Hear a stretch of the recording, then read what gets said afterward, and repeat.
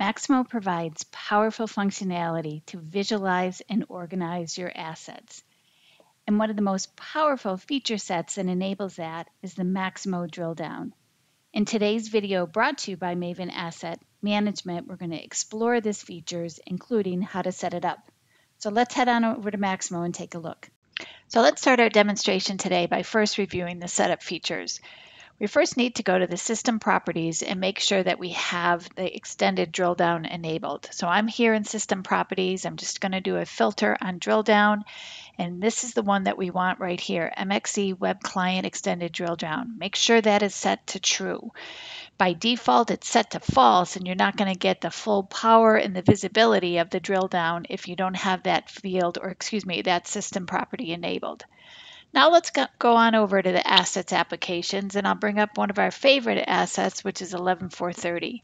As soon as I do that, I want to bring up my drill down. So I'm just going to go DR. As soon as I type that in my navigation, it brings up my open drill down.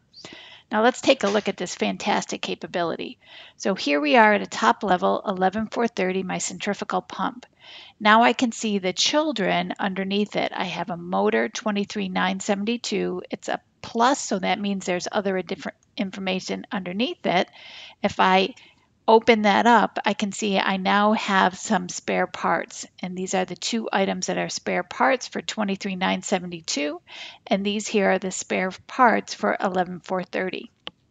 Couple other things that are really important is notice that 11430 is part of the primary system.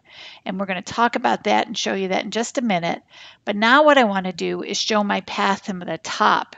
I'm seeing 11430 and down over here, but what about other assets and locations that are above it and also in other parts of the hierarchy?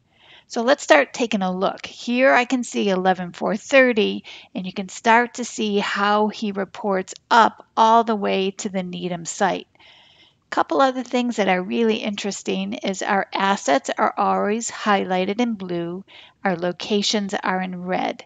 And remember again, I can expand and keep going all the way down and see all this great information. So now I can really start to visualize and understand how my assets are organized within the system. Let's come up a little higher in the hierarchy, move up from the centrifugal pump. Let's come over here to our HVAC system and open him up. Notice as I start to click on some of these locations, my drill down over here is refreshing because now I have multiple systems associated. So for example, in my BR210, which is a fan, I'm looking at my primary hierarchy, but he's also associated with two other systems, the electric system and the air system. Let's click on electric and see what happens. And now I want to show again my path to the top. And this is now going to show very, very differently because I'm not looking at that primary system. Now I'm looking at the electric system and I can see how this individual location, locations are red, how it looks or how it displays within that electric system. And then if I switched over to air, again, showing all the systems to the top, whoops, sometimes that really just doesn't work for me, but that's not a problem.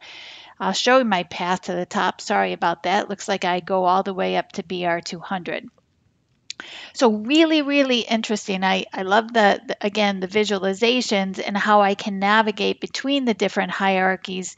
So I get that visualizations, again, understanding how my assets and locations are related. I'm going to click back on my primary systems, show my path to the top. Needham opens up. Here's BR200. And let's just expand this a little bit more because I want to also highlight that not only are we seeing the spare parts associated with the assets, but also the um, the PM plans, which are so important. So I can see in my PM plans, they kind of have like this little shield. I guess that's what that icon is. So I can see that. And wouldn't that be a great way to visualize, hey, how are my PMs set up throughout my hierarchy? Are my critical assets, do I have those PMs in place? Do I have my spare parts in place? So many features and functionality that you can do with this drill down.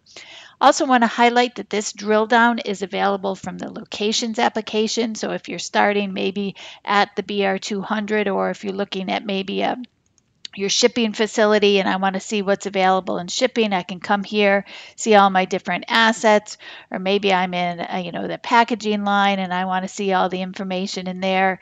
Again, look at all this great information that I can drill through, gain that better understanding, gain that visualization of my assets in the hierarchy. So that's a quick overview of the drill down capability in Maximo. Don't forget to enable that system property as true, and you can really explore all these powerful feature sets. Thank you very much for your time.